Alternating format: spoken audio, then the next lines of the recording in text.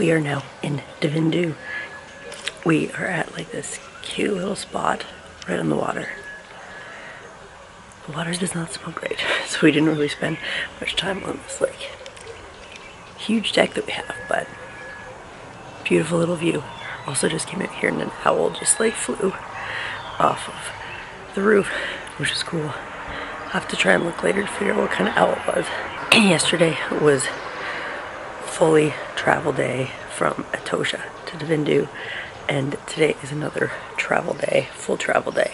So we're getting ready, gonna quickly have breakfast and then head out. We have to cross two borders today, so that will be interesting.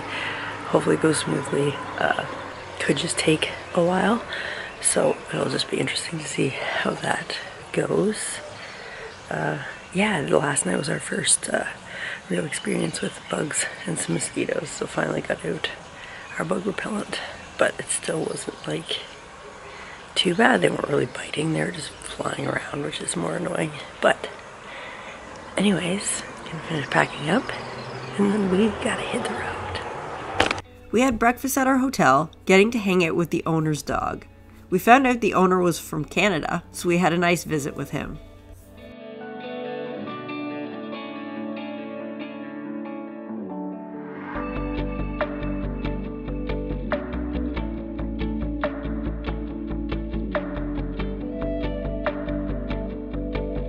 We then hit our first border crossing at Ngoma into Botswana.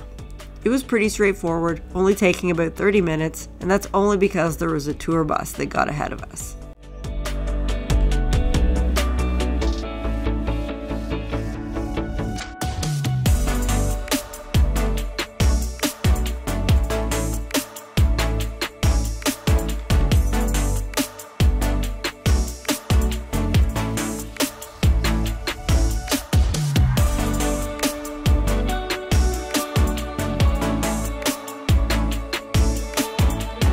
We then drove about an hour, catching glimpses of wildlife here and there.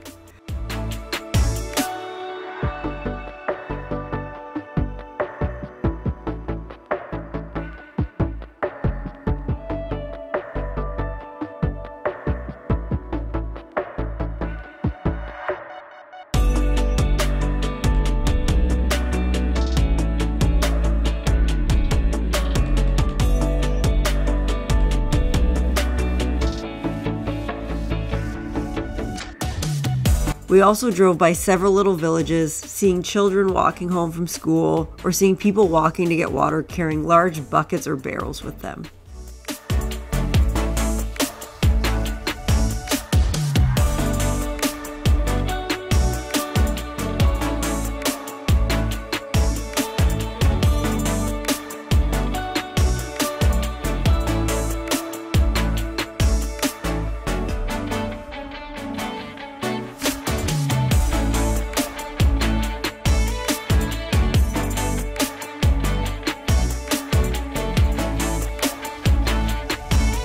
We then got to our next border crossing at Kazungula into Zambia. This one was not so quick. As you're driving up there, there are a bunch of people waiting to offer you their services, explaining that they know the system and can get you through much faster, at a cost. We had heard about this, and despite how insistent they were, we told them we were fine on our own. It was a huge building, and there weren't many other travelers passing through, in total, we had to go to 13 different counters to give information. A lot of the time, it was the same information. Partway through, we had to go back outside for vehicle inspection. We had to pay two different times, one place only taking cash, which we didn't have, so we had to go find an ATM, which was luckily on site. The other one only took card. And then we still had to drive through a checkpoint where they looked over all the paperwork we had received. When it was all said and done, we were two hours in total.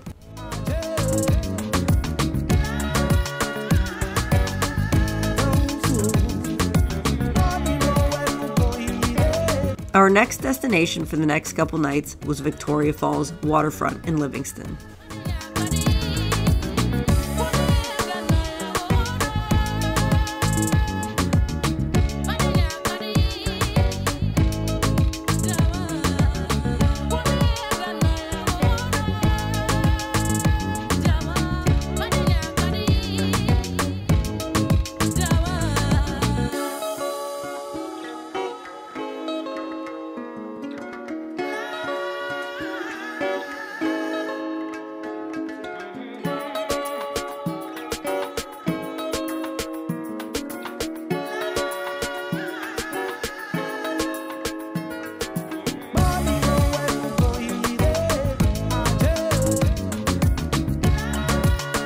Was this little jungle paradise right on the water.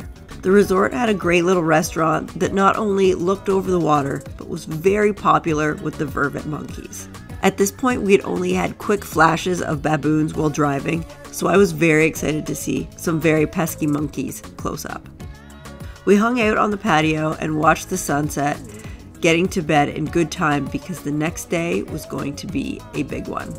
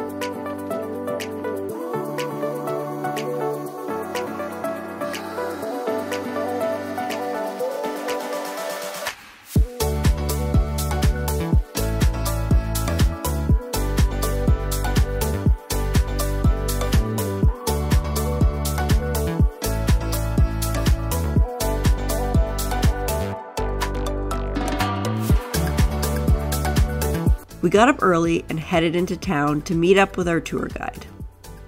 Today, we would be taking a dip in the Devil's Pool at the top of Victoria Falls.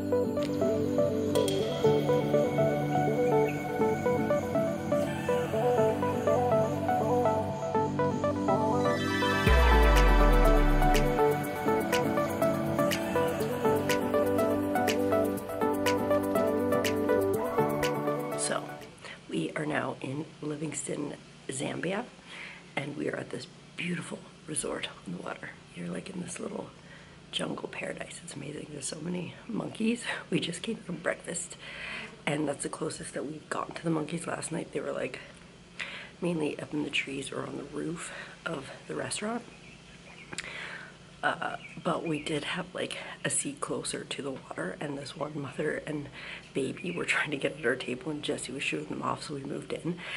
And then we watched that same monkey go to another table and the women there were like a little afraid of it they were trying to shoo it but not before it grabbed the bun right off the lady's plate and took off. So you gotta watch out for those monkeys but I love watching them. I've never been around wild monkeys before so it's been fun. I've enjoyed watching them.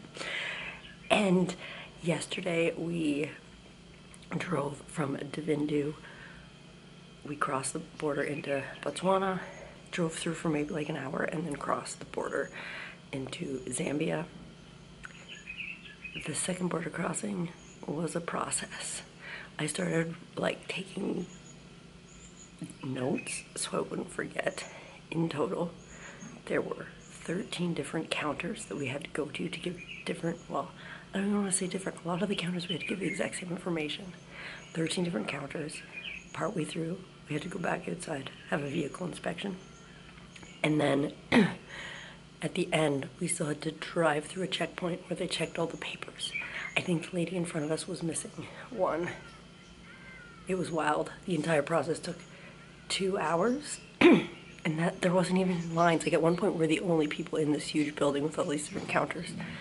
So that time is just how long it took to get to each station that you had to go to. It was wild. We do have to go through a few more borders because we go into Zimbabwe and then we go back into Botswana, but there'll be different borders. We're just hoping that's the only crazy one. When we first went from Namibia to Botswana, that border was easy peasy. There was a, a bus in front of us. That's the only reason why it took a little while, but I think it was still only like 30 minutes, but there was actually a line of people. Today is a very exciting day.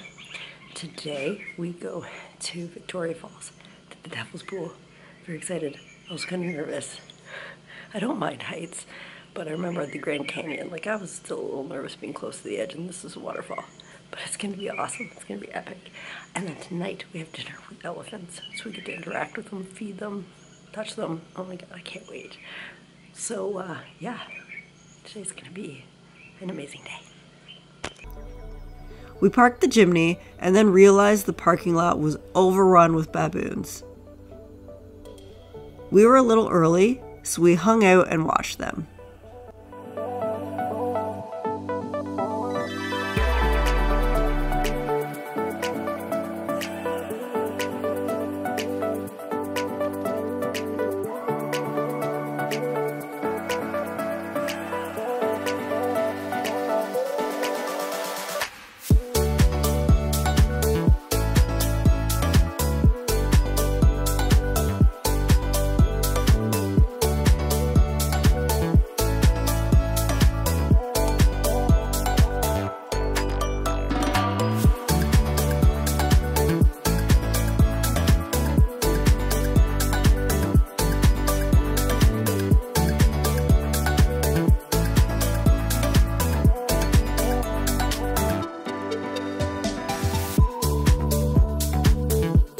One even hopped up onto the top of the Jimny, took a poop, and then headed over to the next vehicle, and then proceeded to rip pieces off of it.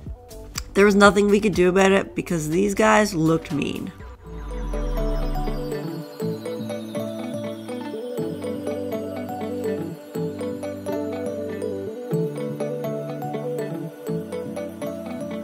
Once our guide arrived and we signed our lives away, we headed out for our hike.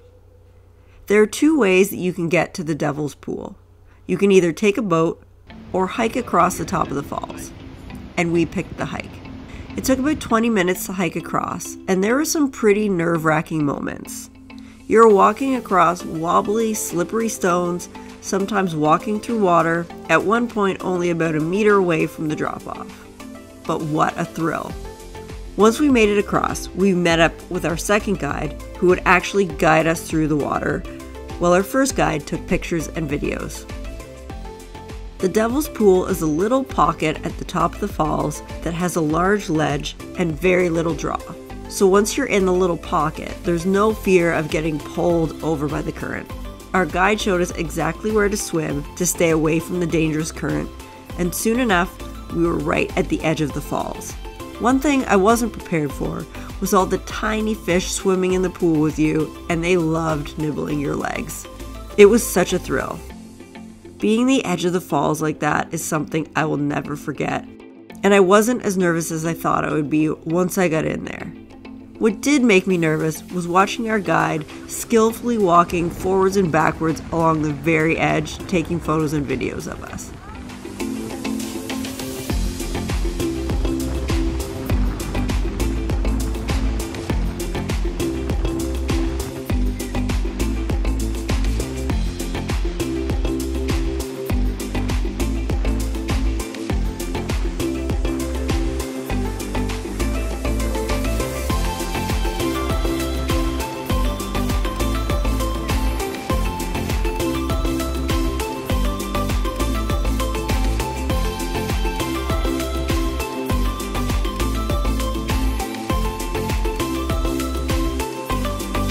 Hike back was still a little nerve wracking, but I felt a little better having already walked it once. And we took our time as our guide told us about the falls and took us to cool viewpoints and allowing us to take more pictures. The local name for Victoria Falls is Mosi-oa-Tunya.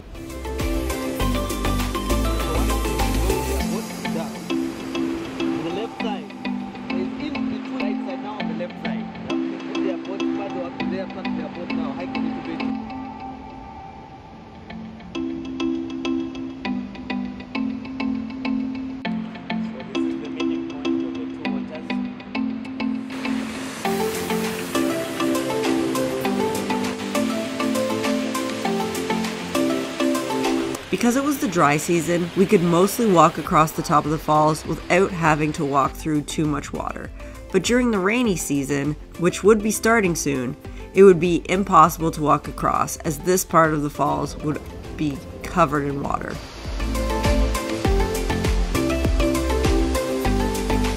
When we got back to the resort, we quickly learned that there was a hippo grazing on some grass just outside some of the rooms. I was not expecting the first hippo we saw to be up on the grass at our resort. We kept our distance, but it was so cool to see.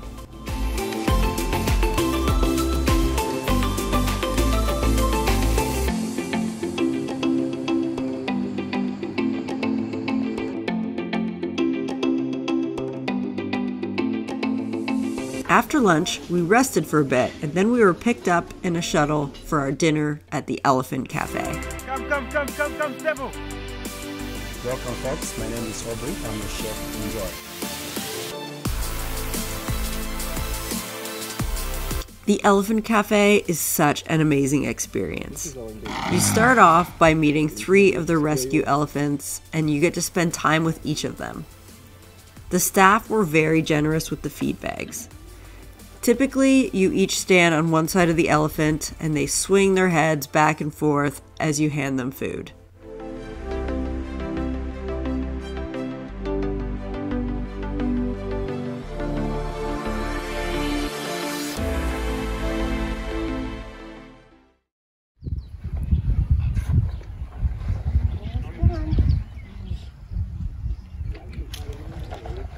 Particular elephant took a liking to me and refused to take food from Jessie. And when she finally did take some food from Jessie, she threw it on the ground. The baboons behind the elephant were quite pleased by this, though. Let's go where the river's taking us. Mm-hmm. Over fields and through the country, letting go of everything but us. Over the rainbow. If we hold tight, we can chase the Mississippi through the night, hundreds of miles away. The water is warm. Let's dip our toes right in and be reborn. I don't know why we'd wait. Grab sunglasses and the atlas. We can prove we're smarter than a phone. Go where there's no reception. See if we can make it on our own. Mhm. Breathe deep in your chest.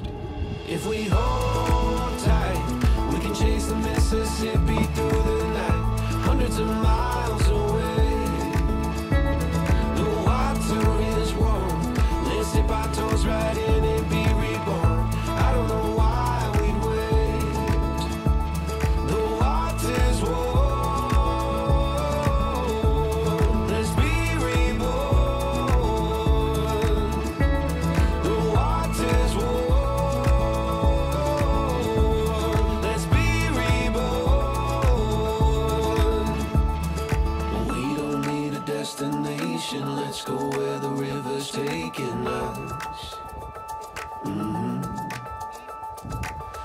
Over fields and through the country, letting go of everything but us. Mhm. If we hold tight, we can chase the Mississippi through the night, hundreds of miles away. The water is warm. Let's dip our toes right in and be reborn. I don't know why. After spending some time with each elephant, it was time for our dinner. They told us about the history of the cafe. The elephants were rescued. but other than their time with the guests, they completely roam free and actually have trainers that are always watching over them just to make sure they don't get into trouble with local villages. The elephants even found an orphan baby and adopted it into their herd. Dinner was spectacular, and we watched the sunset before catching our ride back to Victoria Falls waterfront. It was such an epic day.